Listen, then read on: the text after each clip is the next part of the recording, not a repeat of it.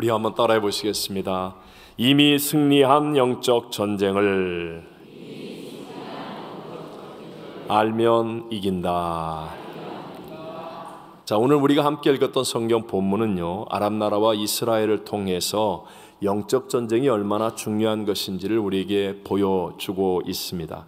당시 중동의 강대국이었던 아랍 나라. 근데 이 나라가 작은 이스라엘을 도무지 이기지 못하는 거예요. 왕이 그 여러 방면으로 조사를 해봤더니 모든 것을 아시는 하나님께서 엘리사 선지자를 통하여서 아람 왕의 침실에서 하는 그 모든 작전 회의까지 다 알게 하시기 때문인 것을 깨달았습니다. 그러니까 먼저 전쟁에서 이기려면 엘리사 선지자를 잡아야만 했기 때문에 조사를 하다가 엘리사 선자가 아주 작은 도단 성에 있다는 정보를 입수하고 그리고 말과 병거 많은 군사들을 보내어서 밤새 그 작은 도단성을 겹겹이 포위했습니다.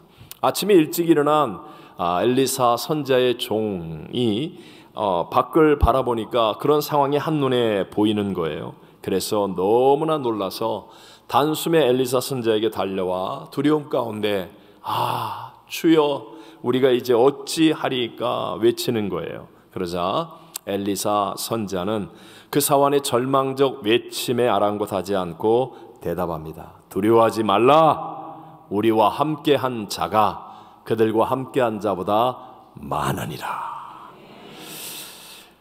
아, 그리고 나서 이제 엘리사 선자가 기도하니까 사환의 눈도 열려져서 영적인 정말 하늘로부터 내리는 그 아랍 나라의 군사와는 비교할 수 없는 불병과 불말이 엘리사 선자를 지키고 있는 것을 보게 되었습니다.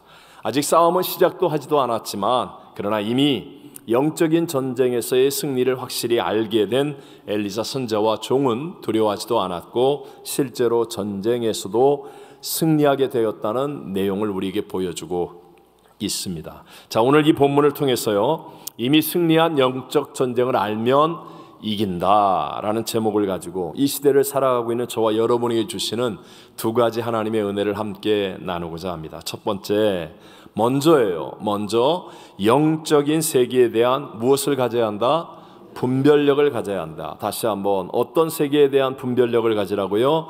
영적인 세계에 대한 분별력을 먼저 가져야만 합니다. 여러분, 보이는 것만을 바라보면서 두려워하고 있는 종과는 다르게 엘리사 선지자는요 영적인 세계를 분별할 수 있었지 않습니까? 그러니까 두려워하지 않았고 승리로 이끌어갈 수 있더라는 것이죠. 영적 전쟁의 출발점은 언제나 분별력입니다. 우리 세상에서 유명한 손, 손자병법에 보아도 지피지기 백전 불태라는 말이 있잖아요. 적을 알고 나를 알면 백번 싸워도 위태롭지 않다라는 것을 세상 사람들도 다 알고 있지 않습니까? 영적인 싸움도 마찬가지예요. 바르게 분별하여서 알고 싸우면 그러면 언제든지 어디서든지 어, 우리는 이길 수 있게 될 줄로 믿습니다. 근데 문제가 무엇이냐? 이 영적인 분별력은요, 학교나 세상에서 바르게 배울 수 없는 영역이라는 것이죠. 예수님을 믿어서 우리의 죽었던 영이 거듭나지 않으면 깨달을 수가 없는 영역이라는 얘기입니다. 그러다 보니까 영적 전쟁을 얘기할 때면 크게 두 가지의 아주 주요한 실수를 하는데 두 가지 양적 극단이라는 게 있죠. 하나는 성경보다도 더 강조하는 것. 또 다른 한 가지는 너무나 과소평가하는 이 양쪽의 극단이 만들어질 수 있습니다. 지나치게 강조하는 사람들은요, 모든 죄나 모든 갈등이나 모든 문제들을 무조건 다 원수마귀 사탄의 탓으로 돌리는 거지요.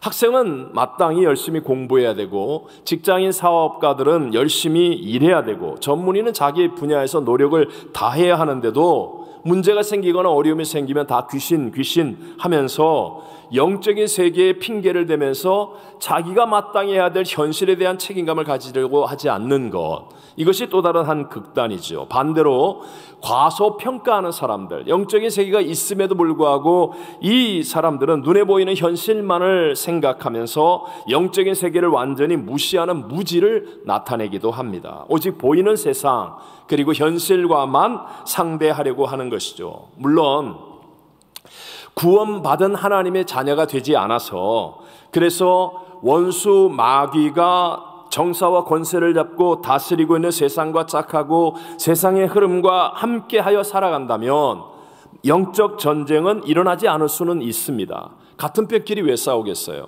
그러니까 내가 세상과 함께하며 살아가는 사람은 영적 전쟁을 모를 수도 있겠지만 그러나 예수 그리스도를 나의 구세주로 영접하여 죽은 영이 거듭나고 하나님의 자녀가 되어서 말씀을 순종하면서 살아가는 사람들에게는 반드시 반드시 영적 전쟁은 일어날 수밖에 없는 것으로 그때의 분별의 기준은 언제나 하나님의 말씀 성경이 되어야 됨을 잊지 않게 되시기를 바랍니다. 성경은요, 분명하게 온 세상은 악한 자에게 아, 처해 있다, 속해 있다라고 말씀합니다. 그래서 여러분 앞으로 세상의 정부나 정권이 어떤 달콤한 말을 해도 자기들의 이익과 반하게 되면 즉시로 기독교를 배반하고 핍박할 수 있는 세상이 되어질 것입니다. 세상의 대부분의 언론들도 갈수록 기독교에 대해서 호의적이지 않습니다. 교회가 아름답고 선한 일을 아무리 많이 해도 나타내지 않다가 어쩌다가 실수 한 번 하고 잘못된 일이 드러나면 난리법석을 피우는 게 세상의 언론일 수밖에 없다는 거죠. 그래서 성경은 우리에게 분명히 말합니다. 우리의 씨름은 혈과 육을 상대하는 것이 아니요.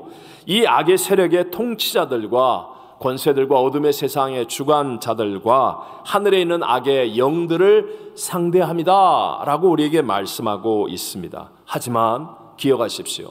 전쟁은 누구에게 속한 것이죠? 여호와 하나님께 속한 것이라고 말씀하잖아요. 하나님께서는 이미 예수님의 십자가의 죽으심을 통하여 다 이루었다 하시고 부활하심을 통하여 영적 전쟁의 승리를 우리에게 허락하여 주시는 줄로 믿습니다. 이미 이미 승리하신 이 영적 전쟁을 우리가 믿음의 눈을 뜨고 알게 되면 우리에게도 다가올 수밖에 없는 영적 전쟁을 승리하며 살아갈 수 있게 된다는 것입니다. 특별히 여러분 원수 마귀는 우리의 생각, 감정, 말이라고 하는 이 세 가지의 영역을 통하여 많이 역사하는데 근데 이것을 어떻게 분별합니까? 오직 말씀으로. 오직 무엇으로? 말씀으로. 하나님의 말씀으로 나의 생각 그리고 나의 감정, 나의 말을 잘 분별해야만 우리가 이미 승리해 놓으신 영적 전쟁의 승리를 누릴 수 있게 된다는 것이죠. 우리 잘 아는 제자로 뽑혀서 예수님과 함께 했던 가련 유다가 어떻게 배신을 하고 어떻게 패배하게 되었습니까? 비록 겉으로는요, 예수님과 함께 식사하잖아요. 예수님과 함께 다니잖아요. 그리고 그는 또 돈깨를 맡아서 많은 일을 하면서 어, 옆에 같이 있는 제자였지만, 그러나 생각을 통해 역사하는 원수 마귀를 막아내지 못한 거예요. 생각 속에 있는 원수 마귀가 던져준 것을 분별하지를 못하는 거예요. 그러니까 결국 패배하는 사람이 되어버렸습니다. 잘 아는 성경 요한복음 13장 2절을 같이 읽어봅니다. 마귀가 벌써 시몬의 아들 가룟유다의 마음에 예수를 팔려는 생각을 넣더라. 보십시오. 그는 예수님과 함께 하면서 얼마나 좋은 말씀을 많이 들었습니까? 그런데도 불구하고 말씀이 아니라 원수마귀가 던져주는 예수를 팔려는 생각을 마치 자기의 생각인 양 붙잡은 거예요. 말씀이 아니라 자기의 생각, 원수마귀의 생각을 붙잡으니까 결국은 영적 전쟁에 패배하고 그의 인생은 차라리 태어나지 않았으면 더 좋을 뻔한 망하는 인생이 되고 만 것입니다. 오늘날도 세상이 우리에게 넣어주는 생각은 대부분이 마귀가 던져주는 것임을 우리는 알아야 합니다. 특별히 눈으로 보는 것으로 살게 되면요. 세상의 모든 사람들은 감정에 휘둘림을 당할 수밖에 없어요. 여러분, 지금 세상에서 얼마나 많은 화려한 것들, 많은 것들을 우리의 눈으로 보게 만듭니까? 인터넷, 또 드라마, 뭐, 뭡니까? 뭐, 유튜브, 뭐, 숏, 어? 틱톡, 하여튼 뭐, 그냥 요새는 그냥 잠시도 가만히 안 있고 그냥 핸드폰 열어보고 인터넷 열어서 계속해서 보고 보고 보고 보고 보고 그래서 생각 속에 자기도 모르는 그냥 원수마귀가 던져주는 생각들이 가득 차서 토요일 저녁 늦게까지 보다가 왔으니 주일날 교회 와가지고 그냥 하나님 감사합니다. 하나님 감사합니다. 네? 그리고 하나님의 생각이 내 안에 들어오지 못하고 분별이 안 되는 거예요. 분별이 안 되는 거예요. 나의 생각이나 나의 감정을 제일 위에 두는 사람. 내가 좋으면 하고 내가 싫으면 안 하고 내가 생각하는 게 맞다고 고집하는 이런 사람들은요, 단기적으로는 자기 뜻대로 뭔가가 되는 것 같지만, 그러나 인생 전체로 본다면 반드시 패배할 수밖에 없는 사람이라는 것을 기억해야 됩니다. 왜냐하면 원수마귀는 세상의 정사와 권세를 갖고 있는 원수마귀는 보이는 것들을 통하여 화려한 것, 멋진 것, 아름다운 것, 대단한 것, 재밌는 것, 즐길 수 있는 것, 이런 것들을 통하여 우리의 생각과 감정을 가지고 놀 수 있기 때문에 그런 것입니다. 영적 전쟁에서 평생 동안 이기는 자로 살았던 사도 바울의 고백, 우리 고린도후서 4장 18절을 다 같이 읽어봅니다. 우리가 주목하는 것은 보이는 것이 아니요 보이지 않는 것이니 보이는 것은 잠깐이요 보이지 않는 것은 영원함이라. 아멘. 여러분 보이는 것으로 살아야 합니까? 믿음으로 살아야 됩니까? Will live by faith예요. not by sight예요.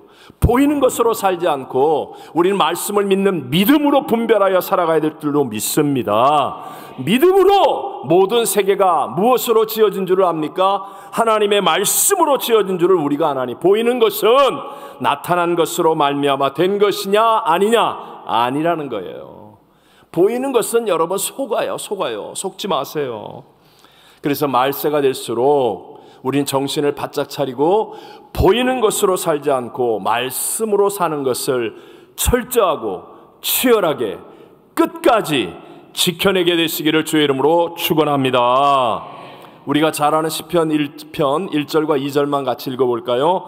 복이는 사람은 악인들의 꾀를 따르지 아니하며 죄인들의 길에 서지 아니하며 오만한 자들의 앉지 아니하고 오직 여호와의 율법을 즐거워하여 그의 율법을 취하러 묵상하는 자로다. 아멘. 복 있는 사람이 되길 원하시면 아멘. 오직 오직 여호와 율법을 즐거워하여 그 말씀을 취하러 묵상할 수 있는 사람. 여러분 꼭 한기다말 성공하게 되시기를 바랍니다.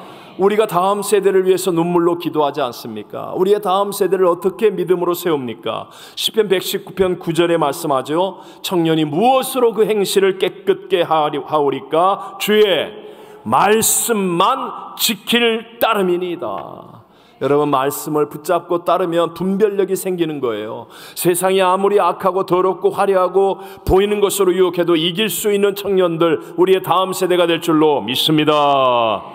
또한 우리의 말은 마치 영적인 도장 찍기, 영적인 결제 사인과 같다라고 했죠. 입으로 나의 입으로 예수를 시인하고 믿음을 고백하면 하나님의 구원의 역사가 나에게 이르지만 그러나 이스라엘의 열두 지파를 대표했던 열두 명의 정탐꾼 가운데 열 명처럼 부정적인 말을 나의 입으로 고백하면 내 입의 말대로 영적인 패배가 영적 전쟁에서 패배가 일어날 수밖에 없게 된다는 것이에요.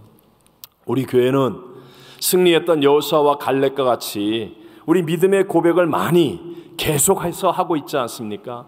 이거 훈련하는 거거든요. 여러분 이런 고백을 여러분이 계속해서 반복하여 따라하다 보면 어느 날 어느 순간에 이 고백이 그냥 남의 고백이 아니라 나의 고백으로 다가오는 날이 있어요. 이 고백이 나의 고백처럼 다 믿음으로 선포될 때 그때 여러분 여러분의 입술의 고백이 영적인 결제 사인이 되어서 하나님의 놀라운 역사와 기적이 여러분의 삶에도 일어나게 될 줄로 믿습니다. 자, 이제 생각과 또는 감정, 말을 통해서 주로 역사하는 이 원수마귀의 영적 전쟁에 대한 분별력을 우리가 갖게 된다면 이제 분별력만 갖는 것이 아니라 전쟁에서 실제로 이기는 자가 되어야 되지 않겠습니까? 두 번째로 여러분 이기는 자가 되려면 죄나 마귀를 상대하지 않고 무엇으로 기도로 성령 충만해지면 이긴다라는 거예요. 여러분 이건 우리가 그냥 알고 있는 일반적인 내용 같지만 정말 중요한 내용입니다. 다시 한번 무엇을 상대하지 않고 죄나 마귀를 상대하지 않고 기도로 무엇하면 성령 충만해지면 이긴다. 이긴다. 자, 엘리야의 사환을 보십시오. 엘리야의 사환 아침에 일찍 일어났습니다. 쉽게 말하면 자기 할 일에 대해서 책임감을 가지고 열심히 잘하고 있는 사람이라는 표현입니다. 그러나 그에게 있어서는 영적으로는 충만하지 않았습니다. 자, 이런 사람들, 교회 안에서도요, 정말 신실한 사람이 있습니다. 매너 좋은 사람이 있습니다. 뭘 시켜도 잘하는 사람이 있습니다. 그런데 기도를 안 해요. 영적으로 충만하지 않아요. 그런 사람들 평소에는 훌륭합니다. 평소에는 정말 대단한 사람입니다. 그러나 진짜 중요한 인생의 어떤 문제가 꽝! 하고 생기면 당황합니다. 왜냐하면 내 힘과 내 능력을 뛰어넘는 문제들은 생길 수밖에 없거든요.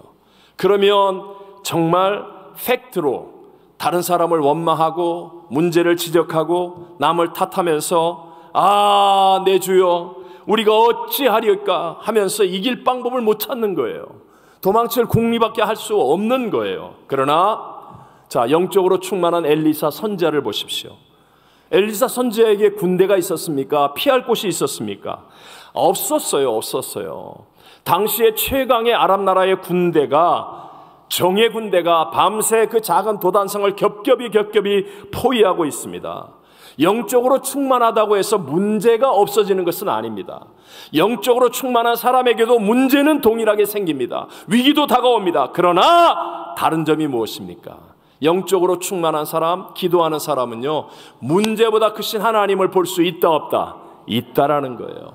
문제보다 크신 하나님을 볼 수 있고, 또, 바라보기 때문에 영적 전쟁에서 이기는 자가 되어질 줄로 믿습니다.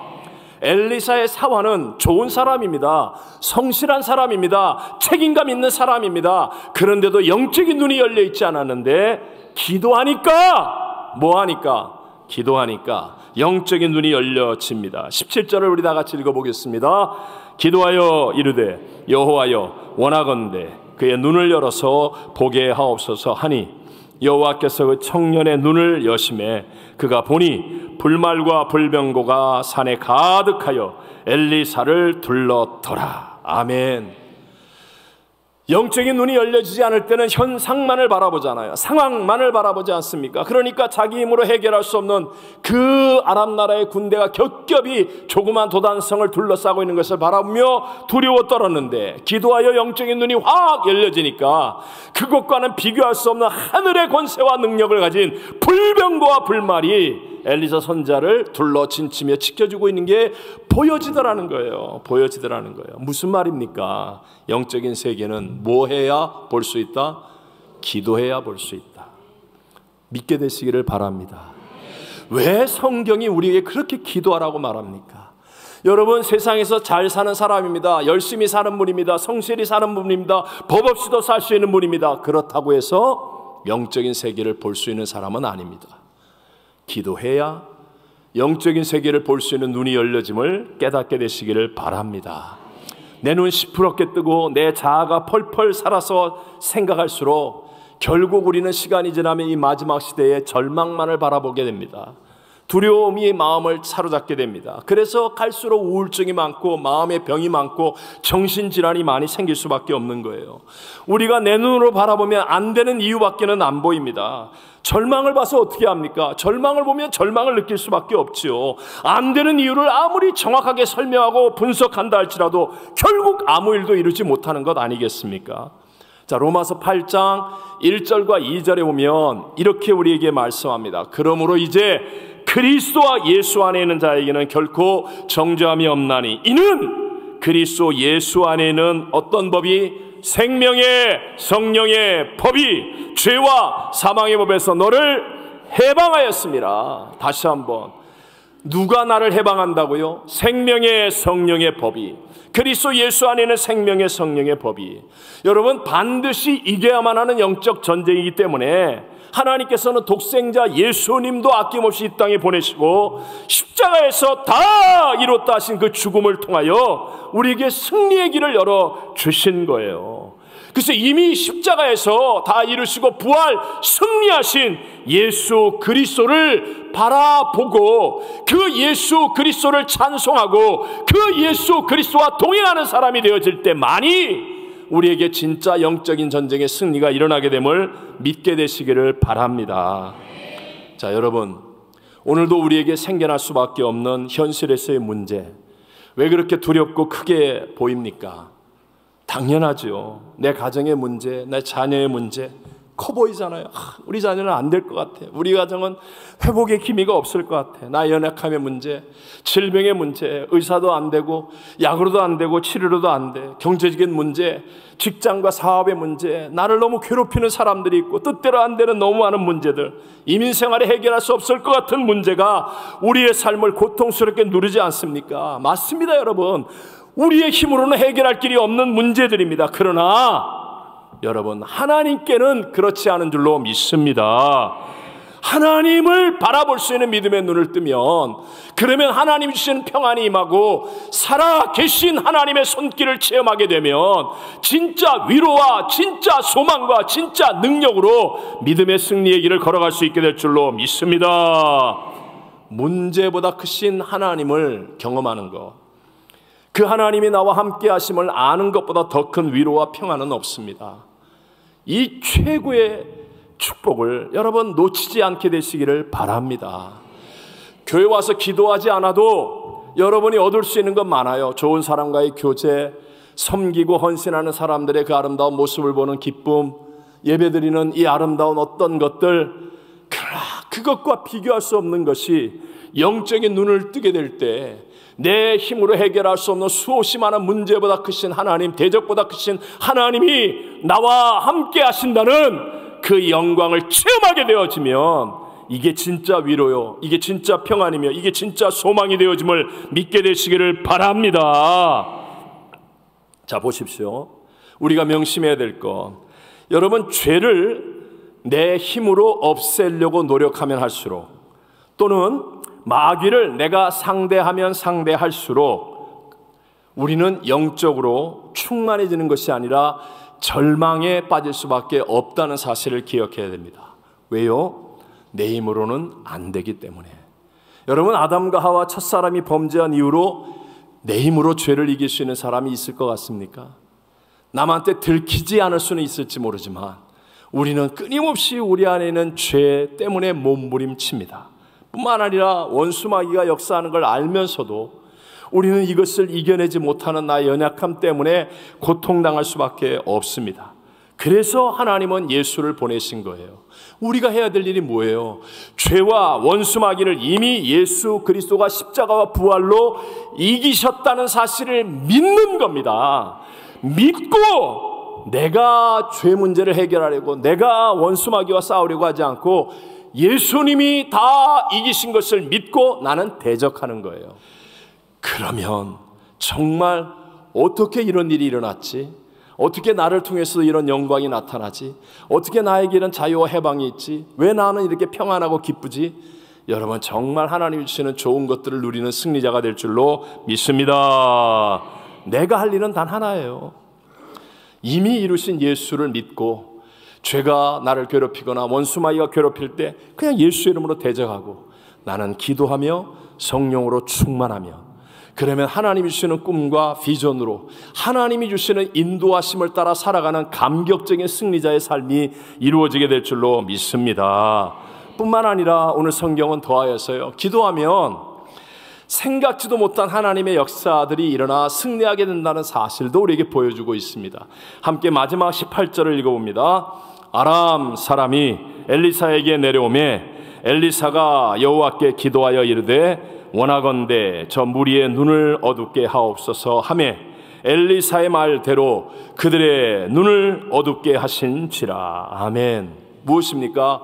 지금 엘리사 선자가 기도하니까 종의 눈이 뜨여져서 아, 도담성을 겹겹이 둘러싸고 있는 아람 나라의 그 정예 군사보다 더 위대하고 더 영광스러운 불병과 불말이 자기들을 지키는 것을 보게 되었죠. 그리고 또 기도하니까 이번에는 아랍 나라의 군대들이 눈이 어두워지는 거예요. 눈이 어두워져서 보이질 않으니까 누군가 인도를 받아야 되니까 엘리사 선자가 그를 인도하여 어디로 가느냐? 이스라엘의 수도 사마리아 성 한복판으로 끌고 갔어요. 그리고 눈을 딱 뜨니까 이게 웬일이야? 적군의 수도에 쌓여 있어요. 항복해야지요. 놀라운 승리가 일어났다는 거예요. 이스라엘 나라에는. 여러분 이게 무슨 말입니까? 우리가 살아갈 때 땅의 길은 내가 알고 있는 길은 막힐 때가 있습니다. 내 사업은 끝장이야. 우리 가정은 안 돼. 나는 육신적으로 이제 더 이상 소망이 없어. 맞습니다. 끝장이 날 수 있습니다. 그렇지만 여러분, 하늘의 길은 우리가 알지 못하는 수천 수 억만 가지의 길이 있음을 믿게 되시기를 바랍니다. 누가 깨닫습니까? 기도하면. 기도하면. 여러분, 내가 알지 못하는 하나님의 크고 은밀한 일들이 깨달아지게 되어진다는 거예요. 자, 이번에 우리 영상으로 봤던 애틀란타 마틴 루터 킹 주니어 우리 목사 기념식에 아, 우리 교회 어린이 합창단이 급조되어서 우리 참석했습니다. 사실 목회 칼럼에도 제가 썼어요. 너무 감격스럽고 영광스러워서 제가 함께했던 분들의 이름을 다 한 번씩 기록했습니다. 우리 교회는 그런 거 안 하는데, 근데 정말 자랑스러워서 정말 훌륭했기 때문에 기록했어요. 12월 초에 전화가 왔습니다. 여러분 12월 달이 어떤 달인지 아시죠? 아, 정말 바쁘고 힘들고 더군다나 이제 막 특세 막 하고 있고 뭐 연말 연초 막 이렇게 하는데 갑자기 전화 와서 전혀 생각지도 못했던 그런 부탁을 받게 되었습니다. 우리 아이들이 한복을 입습니까? 부채를 만져봤습니까? 평소에 모여서 뭐 그런 걸 하는 아이들도 아니고요. 아찔했는데 그런데 정말 아찔했어요. 근데 전화기를 붙잡고 딴 이야기를 던져놓고 열심히 기도했어요. 하나님 해야 됩니까 말아야 됩니까? 이게 하나님의 뜻입니까 아닙니까? 아멘입니까 아닙니까? 뭐 영락 없지요. 마음속에 탁 하나님 주시는 감동이 있었고 그래서 하나님의 사람에게 딱 만나서 얘기를 하니까 그냥 전부 다 하, 지요 하지요. 그 불가능을 가능케 하신 하나님을 경험하고 정말 함께했던 학부모, 학생들과 모든 교사들과 교육자들이 얼마나 감격스러운지 여러분도 기쁘시죠? 네.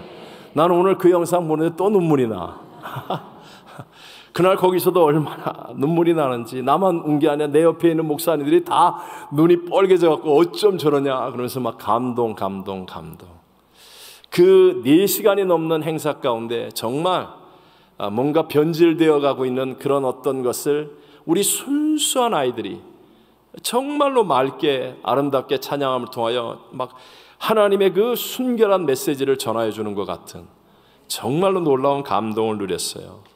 어, 우리가 상상하지 못한 하나님의 방법은 우리가 기도할 때 저와 여러분의 가정에서도 직장에서 사업에서도 인생에서도 어떤 질병 어떤 문제 앞에서도 나타날 수 있음을 믿으시기 바랍니다.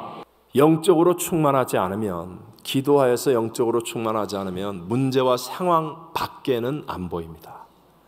문제와 상황, 상황 만 바라보면 아무도 하나님의 일을 감당할 수 없습니다. 그러나 누구든지 기도하면 영적인 눈이 열려지고 하나님의 역사를 볼 수 있게 될 줄로 믿습니다. 거기까지 가야 그게 신앙입니다. 거기까지 가야 정말 하나님 주신 평안이 무엇이고 능력이 무엇이며 기쁨이 무엇이고 소망이 무엇인지를 경험하게 됩니다. 이미 이미 우리 주님께서 십자가와 부활을 통해 승리하신 영적 전쟁입니다. 여러분 이 승리를 바르게 알고 우리 기도를 통하여 성령 충만함으로 날마다 승리를 경험하며 사는 저와 여러분이 되시기를 주의 이름으로 축원합니다. 축원합니다.